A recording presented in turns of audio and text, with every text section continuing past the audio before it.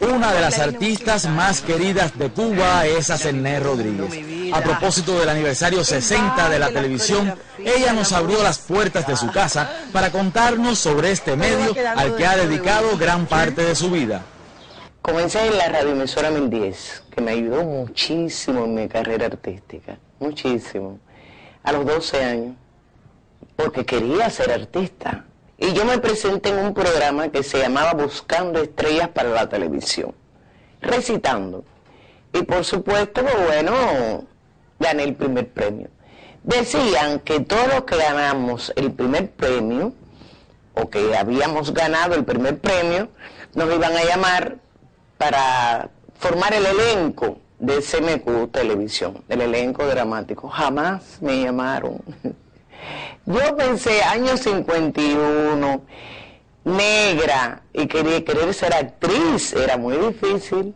Actriz de versátil desempeño que se ha extendido desde la comedia hasta el cabaret, se le recuerda especialmente por la declamación de versos de Guillén junto a Alden Knight, pero sobre todo por su actuación dramática.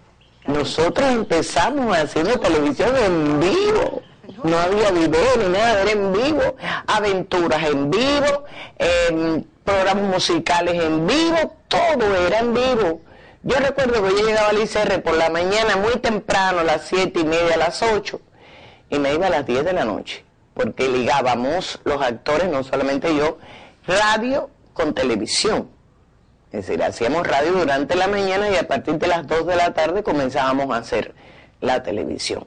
Hicimos aventuras en el estudio 11, que es un estudio pequeñito, aventuras con, con, árboles, con ambientación que parecía que era, que era en exteriores.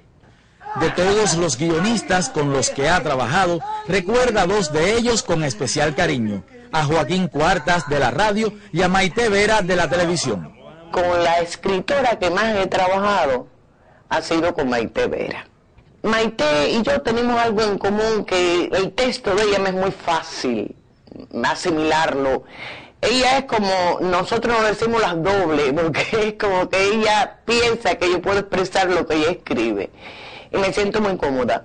Dentro de eso, el personaje que más se acercó al público y más me, llenó de alegría fue, por supuesto, esa gran telenovela que es El Viejo Espigón. En la pantalla grande ha incursionado en más de una decena de oportunidades desde 1962. Asenné Rodríguez ha actuado en 15 países de Europa, África y América a lo largo de una vida caracterizada por su entrega al arte que le ha merecido muchas veces el Premio de Actuación Femenina y más recientemente el Premio Nacional de Televisión. Yo me siento muy cubana, me siento cubana caminando por la calle, yendo al mercado, haciendo una cola, todo. Yo, yo lo siento desde cada uno de los poros de mi cuerpo. Ser cubana y ser actriz, ser sincera, y honesta y llegar al público. Eso sí, eso fue un principio desde que comencé a actuar. Alfonso Roque, Sistema Informativo de la Televisión Cubana. No sé nada.